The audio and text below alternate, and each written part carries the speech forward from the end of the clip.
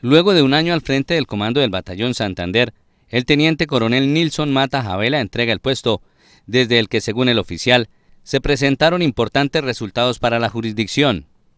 El balance durante este año de gestión es un balance muy positivo, donde se ha mantenido el pie de fuerza de la unidad en toda la provincia de Ocaña. Estamos hablando de los, nuestros 10 municipios,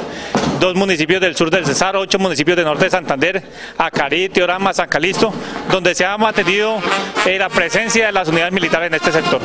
El oficial destacó las acciones mediante las cuales se logró afectar las redes del narcotráfico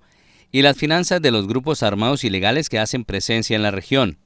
Se dieron golpes muy importantes, se han destruido eh, dos laboratorios para el procesamiento de pasta de clorhidrato de cocaína, laboratorios para el procesamiento de pasta base de coca, se ha mantenido en cero el secuestro de nuestra jurisdicción,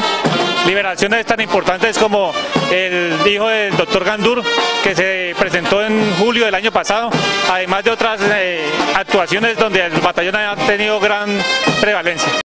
La jurisdicción del Batallón Santander es considerada como una de las prioritarias para el gobierno nacional por la importancia estratégica para los grupos armados ilegales.